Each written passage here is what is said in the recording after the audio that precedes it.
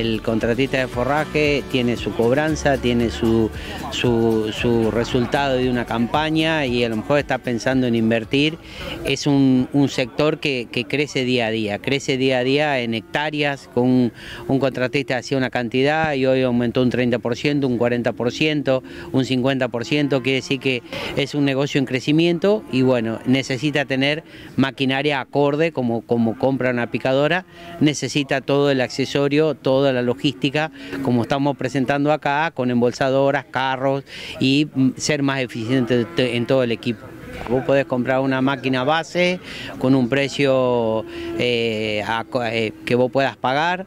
y, después poder, poder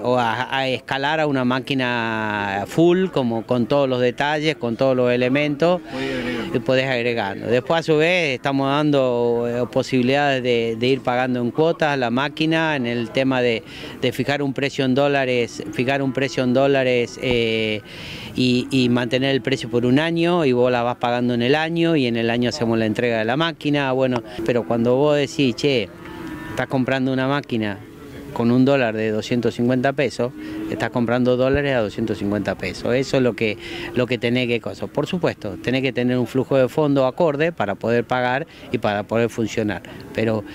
eh, la, la, fortaleza que tiene todo esto es decir, che, equipate, si tenés, tuviste una buena campaña, equipate con, nuevos fierros y con, maquinaria que, te, ayude a facturar la próxima campaña más hectáreas. Todos los forrajeros creemos que tenemos una alternativa muy buena con nuestros productos, con, los carros, con la embolsadora, con los distintos modelos, con las distintas opciones, con, todo lo que tenemos acá. Después tenemos nuestro rubro de, quebradoras que tenemos, han evolucionado en tema de tipo de caja de rolo, eh, montones de cosas, mil vueltas, y, después todo el tema de extractora, el tema de extractora, la logística, que la extractora se use para embolsar como se use para extraer. Entonces tiene un doble uso y no es que la usás para un solo uso, entonces cuando vos haces una inversión eh, eh, disminuís el impacto en un solo proceso, lo, lo, podés repartir en dos procesos. Y después nuestra máquina que, tenemos que seguir difundiéndola, que es eh, la, máquina que logra el reciclado del silo bolsa, es decir, te obliga a enviar a reciclar el silo bolsa porque, porque te genera un, una vez vaciado el silo bolsa te generó un rollo compacto y, y, ¿cómo se llama? Listo para mandar a disposición funeral.